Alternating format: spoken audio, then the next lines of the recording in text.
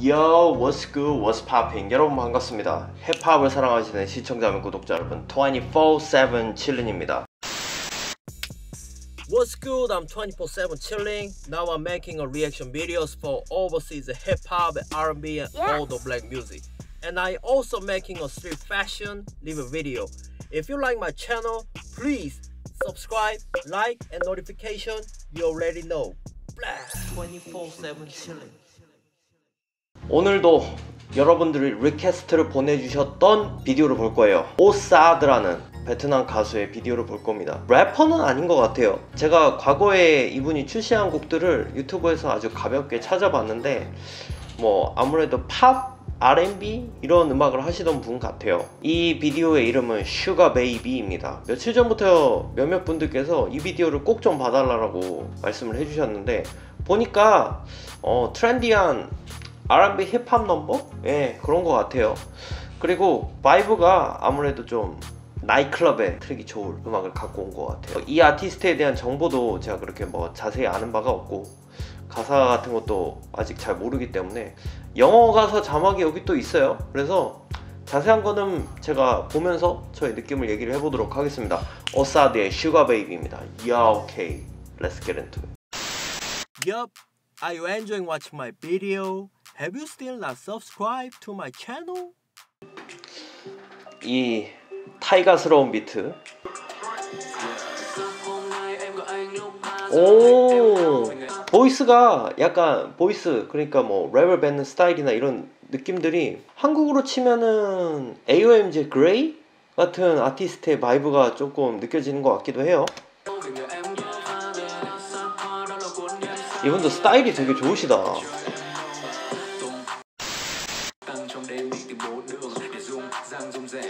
네, 확실히 요즘에 힙합이 인기인 것 같긴 해. 그냥 좀 뭐라 그럴까. 예전에 막 팝 음악을 만드시던 뭐 예를 들면 뭐 아이돌 같은 그룹들이 요즘은 뭐 다 앨범마다 힙합을 하나씩은 다 밀잖아요. 그런 거 보면 힙합이 이제는 좀 주류 음악이 된 것 같아.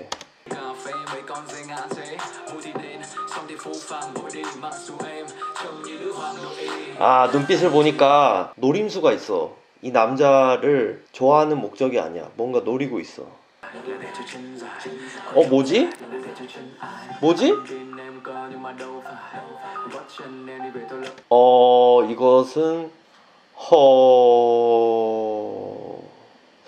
어 이것은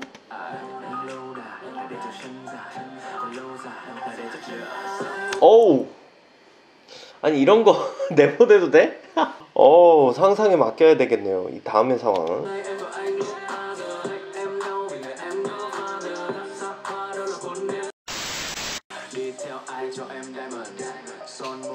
워낙 미국의 타이가 같은 래퍼들이 이런 바이브의 음악들을 크게 유행을 시켜놔서 또 저 같은 사람이 듣기에는 되게 익숙하죠. 음.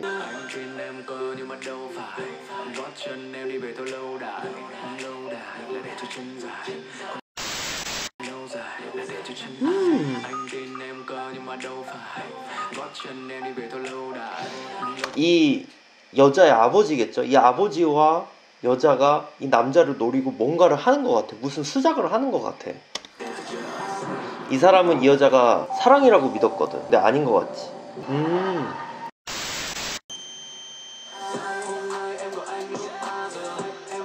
어우! 어우, 골프채로 때리는 거 가지고 나 깜짝 놀랐네. 오.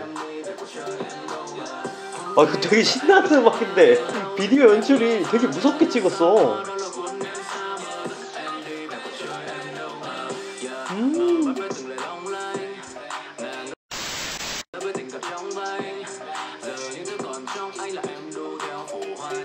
아 여기는 113가 범죄 범죄 신고인가 봐요. 저희는 112입니다. 음. 잘 들었습니다. 나쁘지는 않았어요. 나쁘지는 않은데 조금 그냥 솔직하게 얘기하면 이런 음악이 요즘에 이런 스타일들이 너무 많이 나오니까 조금은 저한테는 약간은 지루한 느낌이 있어요.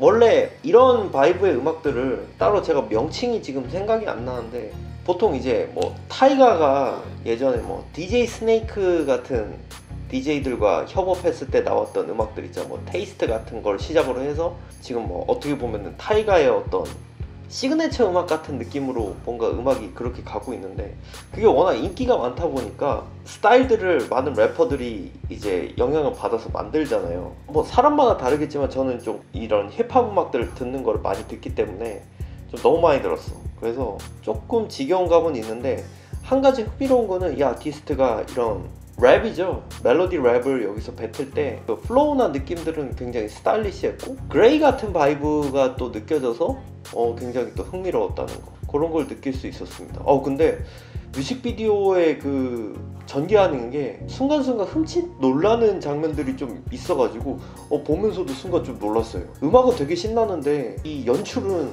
공포 영화 같은 거야. 자 여러분들의 의견 어떠신지 모르겠습니다 의견이 있으시면 댓글로 많이 남겨주시고요 저희 24-7 7인 채널이 마음에 드시면 구독, 좋아요, 알람 설정을 해주세요 저는 다음에도 재미있는 영상으로 다시 돌아오겠습니다 여러분 감사합니다 패스 If you want to watch more videos,